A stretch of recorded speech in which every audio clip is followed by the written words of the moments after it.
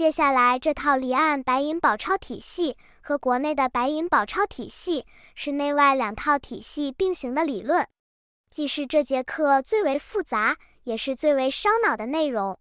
当听到这句话的时候，朱高煦的脑子已经开始疼了。江心火缓缓说道：“但是你们只有理解了内外两套体系是如何运作的，才能明白设计白银宝钞的精髓所在。”闻言，墙内外的众人都认真了起来。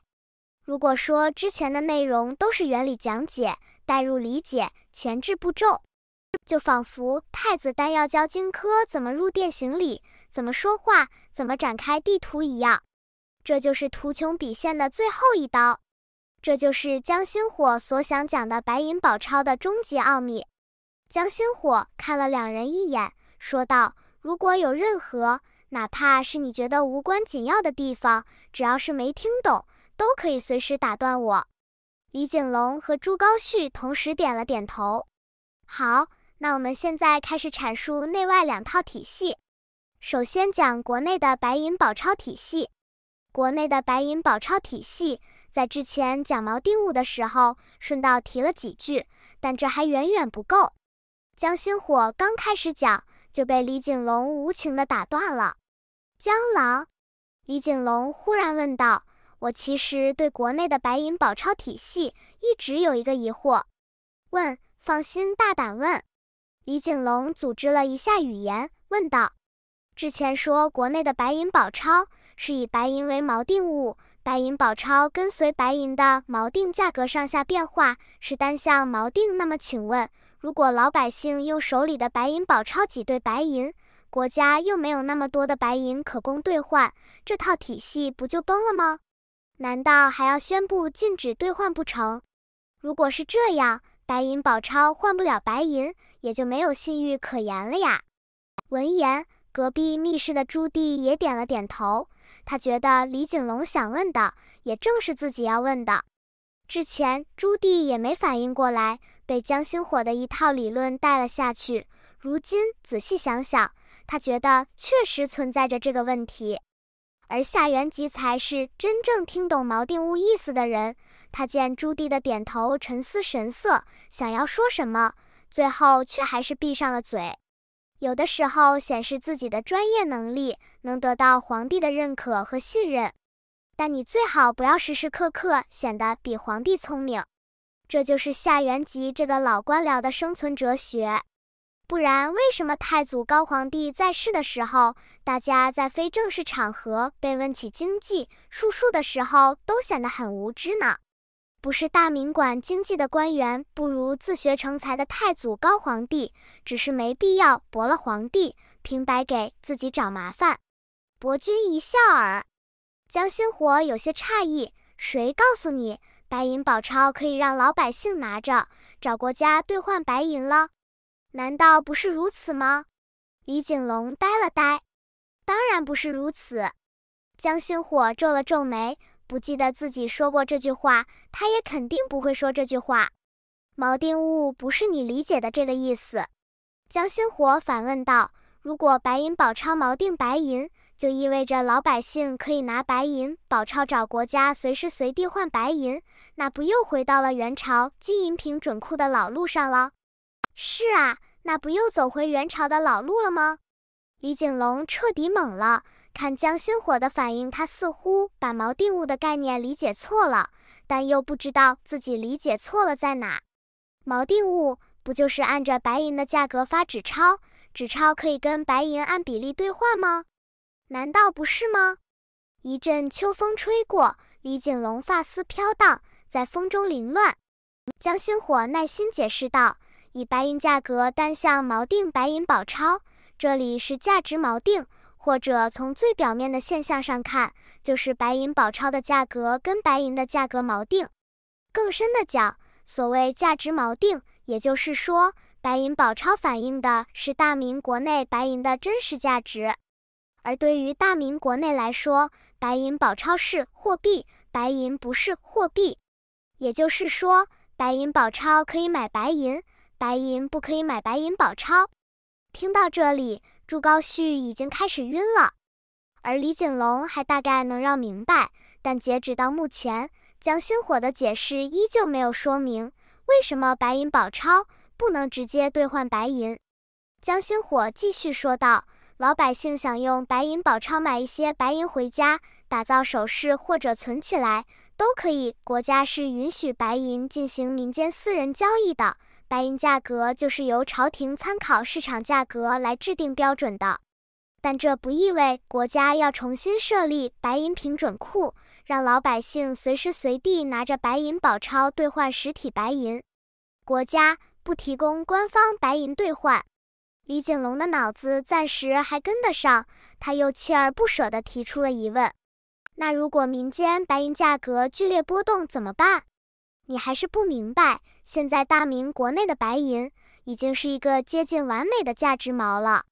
江心火尽量用他们能听懂的语言进行解释：大明国内白银的价格是由民间白银存量决定的，没问题吧？白银在民间的存量增加，白银价格降低。白银如果被窖藏起来，大明白银持有者最喜欢干的事，或者铸成首饰器物，导致白银在民间的存量减少，白银价格就会上升。没问题，这个解释朱高煦和李景龙都很轻易理解了。那我问你们，大明国内的白银矿都快枯竭了，存量怎么增加？李景龙怔了怔，是啊，国内如果没有新增白银，或者新增白银很少的话，那么国内白银的价格就是接近恒定的。不对，也不是恒定，而是会缓慢升值，因为白银稀缺会导致持有白银的人将其窖藏，继而导致国内白银存量更少，价格更高。白银的价格真的不会剧烈波动吗？面对朱棣同样的疑问，夏元吉沉默了几息。陛下，夏元吉尽力解释，僵尸的这套设计是没问题的，白银的价格根本波动不了。为何？朱棣有些难以理解。因为从体量上看，白银的总量虽然远小于铜钱的总量，但只要国家不出手干预，民间没人能扰动白银价格。白银的价格就在那摆着呢，最多上下波动一点点。如果有人囤货居奇，没有商人那么傻，这是在替国库攒钱。听到夏元吉的回答，朱棣心中稍安。你说的对，是朕多虑了。朱棣轻轻叹气道：“作为皇帝，他所担心的便是银价扰动物价。现在既然确定没什么问题，朱棣自己也松了口气。”而且夏元吉说的也有道理，在大明这种制度下，如果真有人想囤积大笔白银来哄抬物价，朱棣不介意让他体验一下什么叫全是朕的钱。这种影响整个大明经济稳定的事情，即便是国公这个级别的勋贵做出来，朱棣也绝对不会姑息。况且大家也没那么傻，干这种事就为了挣钱。庙堂之上的滚滚诸公有了权力，要多少钱有多少钱，还要自己费时费力被泼一身脏水，亲手做这等事吗？地方上谁有能力哄抬全国的银价？当然，朱棣并非是害怕别人这么干，相反，他还希望能够让国库充实一笔呢。就如同忽必烈闲着没事就杀一个养肥了的雀茶使、雀眼使一样。李景龙击节道：“江郎，我明白了。只要不输入外部白银，那么国内白银价格始终是恒定的，就形成了稳定的价值锚价格锚。外部白银当然要输入，但只能由国家严格控制输入，否则必然会导致白银大量流入，冲击白银锚，使得国内的白银宝钞被动贬值，造成大明国内通货膨胀。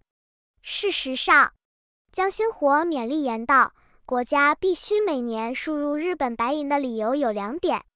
第一点是为了阻止大明国内白银因为物以稀为贵的正常价格上涨，需要都每年输入一定量的日本白银进行配平，让大明国内白银价格保持在一个极小幅波动的范围内，从而稳定白银毛。第二点是国家要根据大明创造真实价值的能力变化。”通过白银毛的价格来控制货币的超发或停发。江心火详细解释起了第二点，也就是白银宝钞到底是如何根据白银毛的价格变化而进行数量上的控制的。当国家分析判断，认为大明国内创造真实价值的能力在快速增长，也就是需要增发纸钞的时候，只需要增加日本白银向国内的流入。如此一来，国内白银毛的价值降低，纸钞价值同步下降。此时增发纸钞就实现了有序的温和通胀，可以有效刺激大明国内的经济发展。相反，如果大明国内创造真实价值的能力不再增长，甚至陷入衰退，到了需要控制纸钞数量的时候，只需要减少或停止日本白银向国内的流入，国内白银毛的价值会天然的由于窖藏这一特征上涨，纸钞价值也将同步缓慢上涨。就可以达到抬高纸钞币值、降低通货膨胀目的。听明白了吗？明白了。李景龙如释重负地舒了口气。隔壁密室，夏元吉却是一脸愕然。日本白银是什么？夏元吉扭头看向朱棣，却发现朱棣一点意外的神色都没有。哦，忘了跟夏青说了。朱棣拿起茶盏抿了抿茶水。好以闲暇地说道：“昨天朕交代礼部派遣官员与内廷锦衣卫一同组建使团出使日本的事情，夏青知道吧？”夏元吉在洪武朝就被锦衣卫吓怕了，乍一听还以为朱棣在试探他是否结党营私，而转念一想，好像又没这个必要。他夏元吉堂堂一部尚书。大明的财神爷知道点朝廷里的消息，再正常不过了。臣略有耳闻。夏元吉也拿起了茶盏，喝了口茶压压惊。嗯，朱棣放下茶盏，轻声说道：“就是说呢。”江心火说：“日本有个银矿。”夏元吉点了点头，含混地附和了一声：“原来如此，一年产八百万两白银。”哦哦，那还不。噗！夏元吉一口温茶喷到了地上，胡须和官袍上也沾了些许。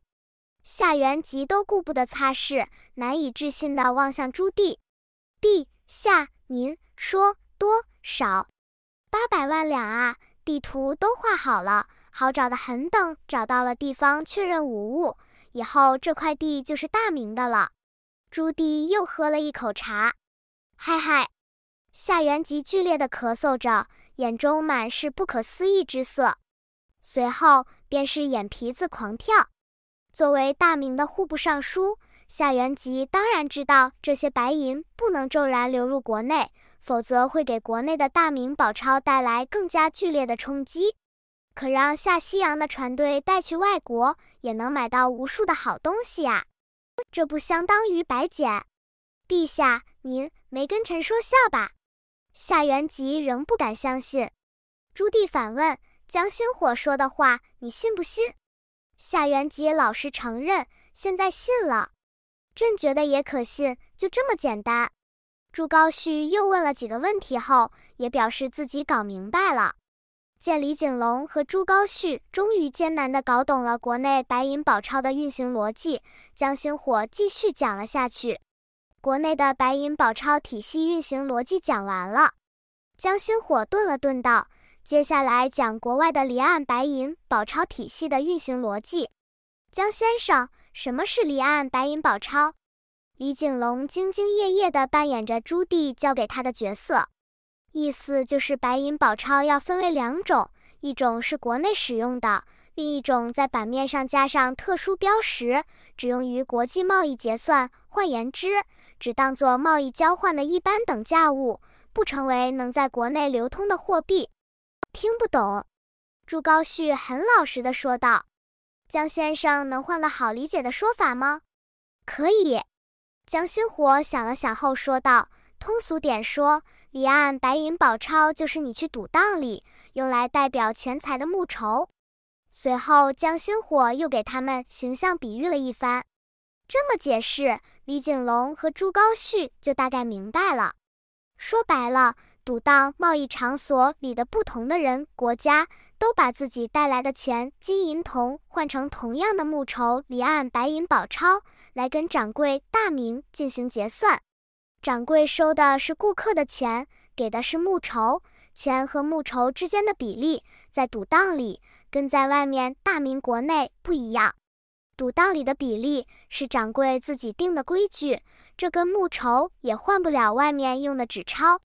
同样，这些用来交换木绸的钱。也不会进入外面流通，只会在赌档内部流通。给这俩赌棍用他们熟悉的方式解释完后，李景龙复又问道：“那为什么要弄这么复杂的两套体系呢？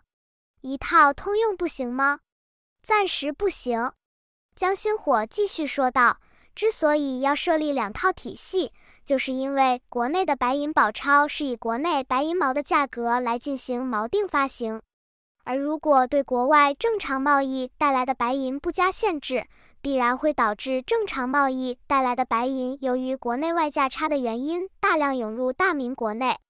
原因就在于，为了维持当前国内白银毛的稳定，国内白银价格会显著高于国外白银，存在着很大的套利空间。国外商人会以对他们来说很便宜的白银，大肆购买在大明国内价格很贵的商品。这会导致通货膨胀和贸易逆差，这是绝对不允许的。所以必须建立起一道白银壁垒，所有的贸易结算都以离岸白银宝钞货币池结算。隔壁的夏元吉此时听得聚精会神，夏元吉下意识地喃喃自语：“离岸白银宝钞货币池，难道是形成一个独立的用来结算的银库？”夏元吉咽了口唾沫。此时，他忽然觉得自己好像在江心火的引导下，触及了新世界的大门。无论是大明国债，还是国债息率倒挂，亦或是这套新的离岸白银宝钞货币池，对于夏元吉的意义都不亚于重获新生。这是中国经济历史上从未有过的全新玩法。因为夏元吉清楚知道这些东西的含金量，它代表着划时代的意义。夏元吉看向墙壁，仿佛要看到对面的江心火。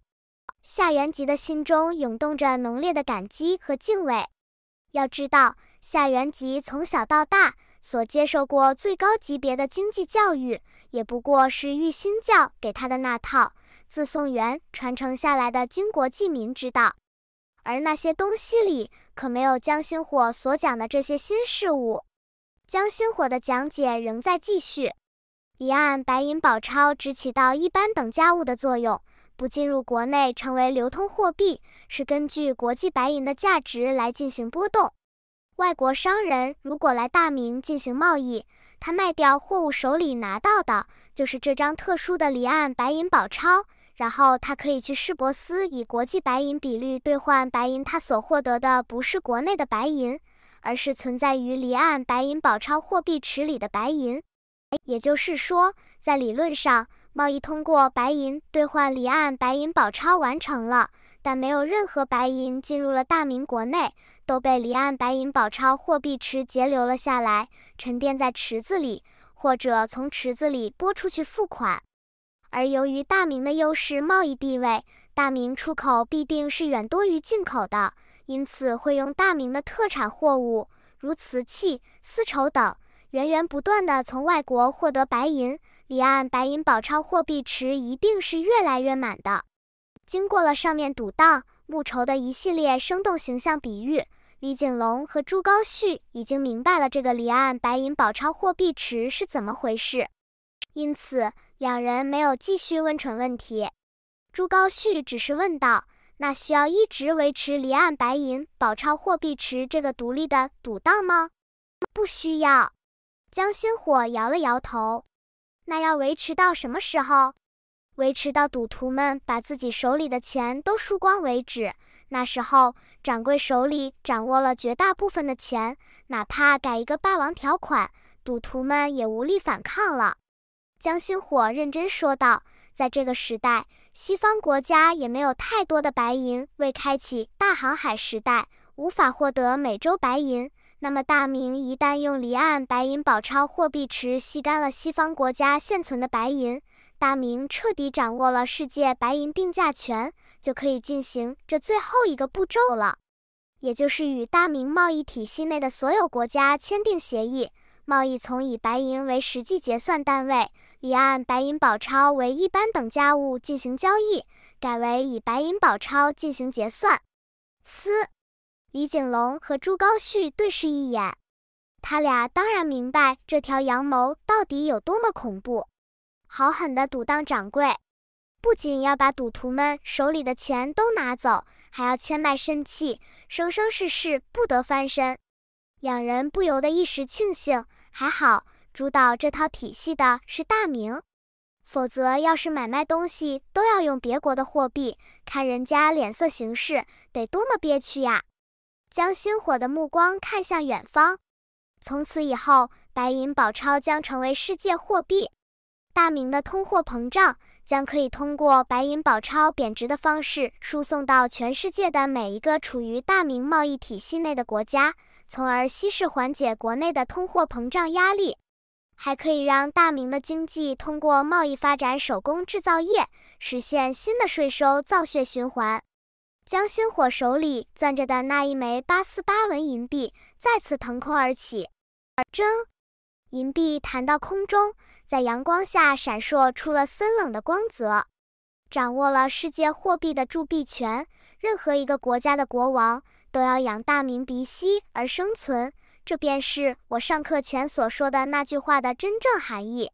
下课，隔壁密室中下元吉正燃良久，方才从全新的世界中抽离出来。见朱棣正在端详着他，夏元吉坦然道：“一时出神，让陛下见笑了。这节课听完了，感觉如何？”朱棣依旧在慢悠悠地喝着茶水。事实上，他的经济知识不是一般的匮乏，所以很多地方没太听懂，并不那么感到震撼。